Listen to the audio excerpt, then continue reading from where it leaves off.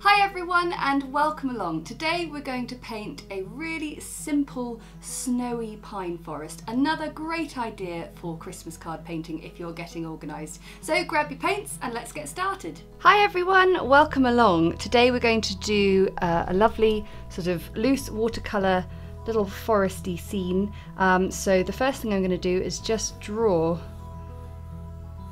a little sort of mountain top mound. I've got some big brushes with me here today, um, and that's because we're going to be working with kind of wet, uh, a wet approach. So I've also taped down my paper, but I'm not actually going to go right out to the edges and do a crisp edge. I just want to keep it in place. So I've got my mop brush here, which I'm just wetting the page above this pencil line. But if I want a really nice, precise uh, finish, I use my flathead one wash brush, which means I can just get a more precise line like that. So all these types of brushes I do sell in my web shop if you want to get your hands on some. Uh, and I'm going to begin just sort of letting that of very slowly seep into the page. I'm going to begin with a sort of misty, shadowy colour. I've got Payne's Grey and just had a tiny bit of sort of burnt sienna, a little bit I had a sort of greeny French ultramarine blue combo there.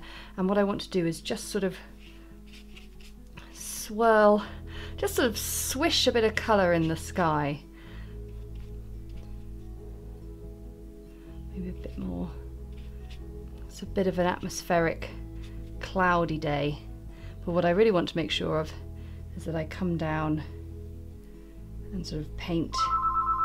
Oh, the phone is ringing. That's never happened in the entirety of filming YouTube for two years. Never thought to actually uh,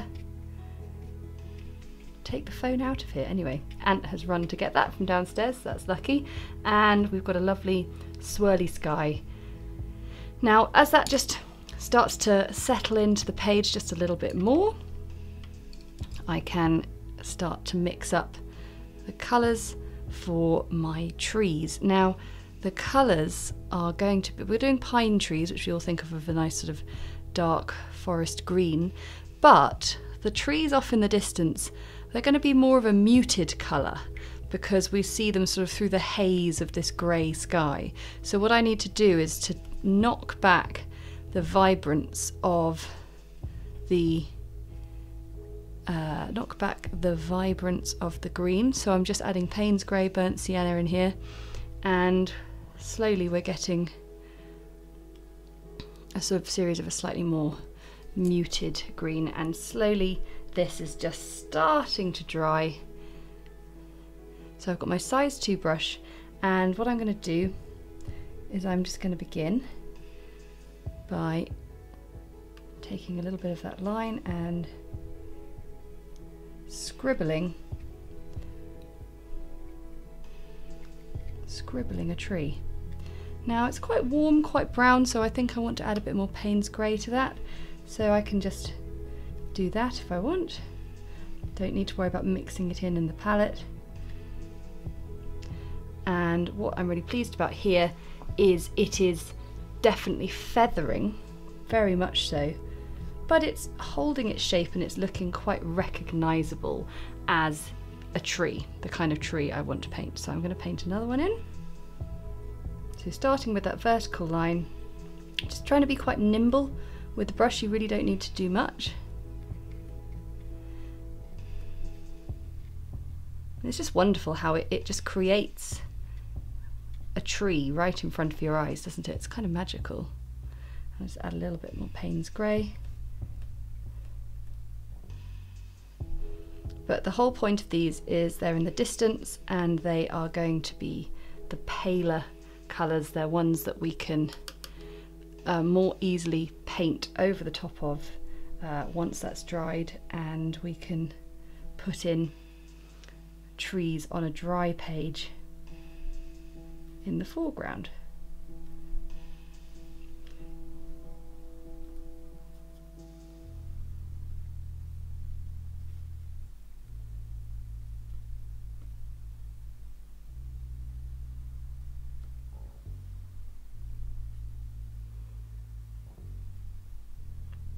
And one more just sort of right off in the distance behind the hill.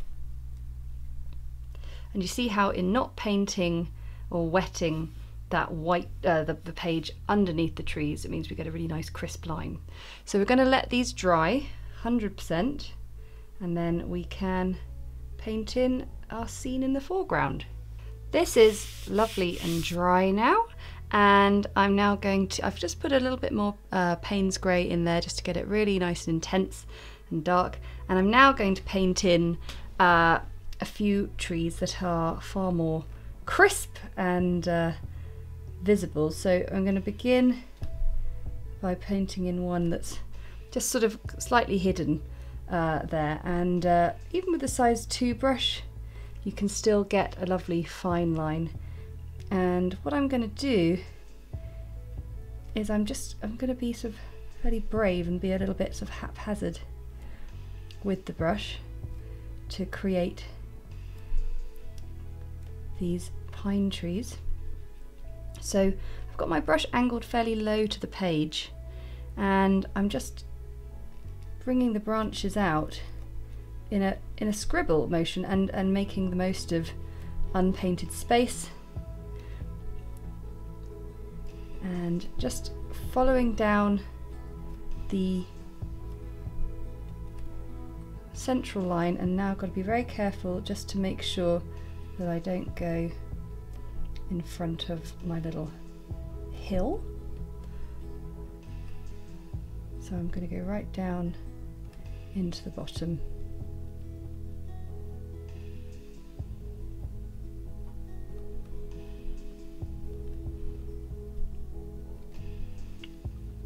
And that's rather nice. And then what I am going to just do is clean my brush off. and I'm just going to sort of soften it into the hill just a little bit.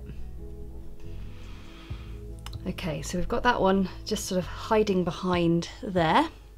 And now I'm going to paint a, larger one that is, we can see the whole of it here.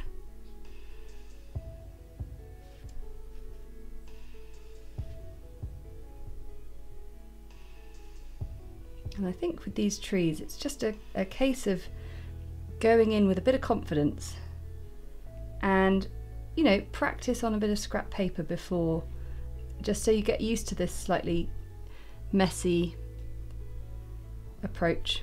The one thing I do with these trees, I sort of slightly angle the scribbles down a little bit. Now the one thing I'm going to do with this tree, that I didn't do that tree, is I'm going to be adding extra low lights once I've got to the bottom because we want to just give the sense that this tree is just a little bit more in the foreground. So the other thing I can do is just add a few more little details.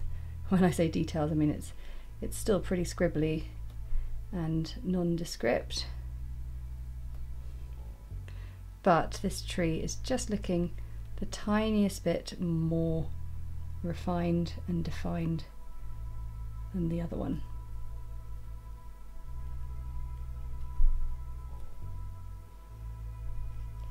Um, another tip I think is if you haven't painted these before is don't sort of go outwards too quickly because then you'll find your tree is ginormous. If you can just keep it fairly contained in the space, you will be you will be grateful because your tree won't look like a massive wigwam or a tent.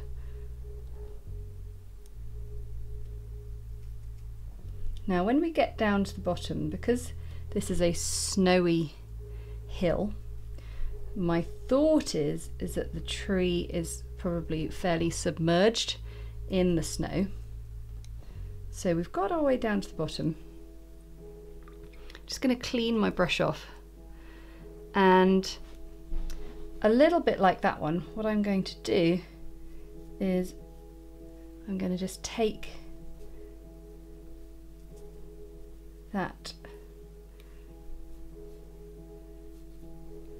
bottom bit of colour and turn it into a nice bit of sort of hillside shadow. And I've just got a bit of the more sort of original dilute colour we had in the sky and I'm just going to add in a few extra little sh shadows there. Maybe just a little bit more Payne's grey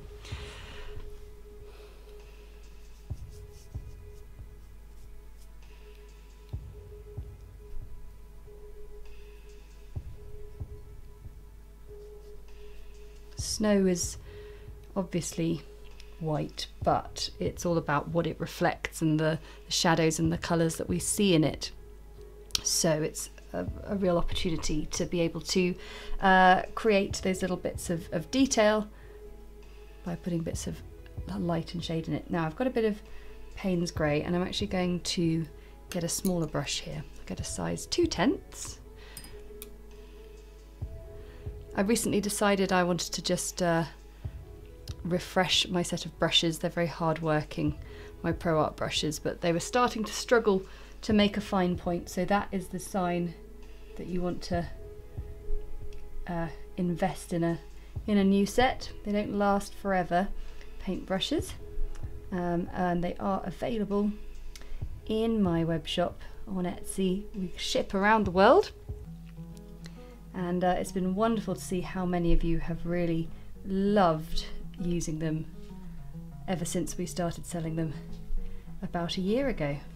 Okay, so I'm just adding in some extra low lights. Still a little bit damp at the bottom of the tree, but that's fine.